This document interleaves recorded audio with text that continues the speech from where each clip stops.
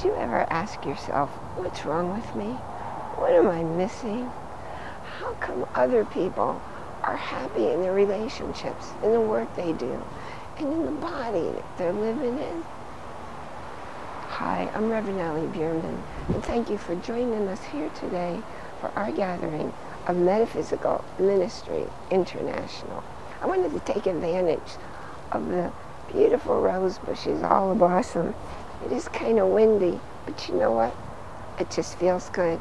And being in the aroma, the fragrance, ah, can you smell it? What is a metaphysical ministry? A metaphysical ministry is all about learning how to move beyond just your five senses. Because 99% of the world out there that will really enrich your life, your enjoyment of life, your experiences in every moment, they're not something you detect with your eyes or your ears or your taste or, your touch or your smell. Metaphysics is the bigger than the physical senses. We start every week with a happy share. And my happy share is I got a dress today for my daughter's wedding, which is in a few days. I've been looking and just couldn't find what I liked. And I found something.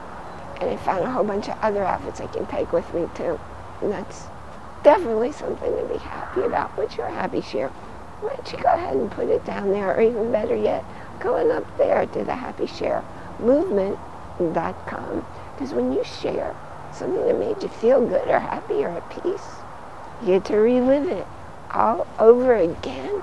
And the universe sees that you're appreciative and you're recognizing happy moments in your life. It gives you more. And today, I want to talk to you about happiness because you see, happiness is a lifestyle. It's a whole way of living. It's not just an event. It's not, wow, I got a promotion, let's go out and celebrate. That's a happy moment. It's not, oh, I'm going on vacation. Oh, it's going to be so relaxing to be away from ringing phones and computers and all that. Those are all events. They don't change how you're being in the world. Happiness is the way you look at the world. Everything that happens in the world has no meaning. You, you assign the meaning. And it's your choice whether you're going to assign a happy meaning or sad meaning. Because every event is potentially happy or sad depending on your point of view, depending upon how you feel your experiences and what you want to feel, because you're choosing how you're feeling. If you're on the ministry page and you look up there, you'll see a page called Hold the Space For. If there's something you want in your life that you just haven't been able to manifest yet, go ahead down there, tell us what it is.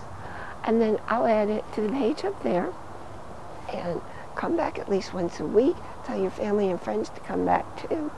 Read each name and what it is people want you to hold the space for. Because when you're thinking of things, you have a thought form. And when lots of people are thinking of things, the same thing, thought form gets bigger and bigger and bigger.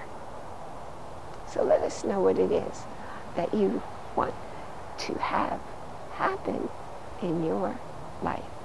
If you haven't done so already, go on over there and get your copy of How to Take Your First Steps on Your Spiritual Journey. Again, I'm Reverend Ali Bierman. Thanks so much for coming and please click like, please share this information with others so they too can make changes in their life that will lead them to happiness. It's your birthright. I wish you a week of finding things to be happy about and many blessings.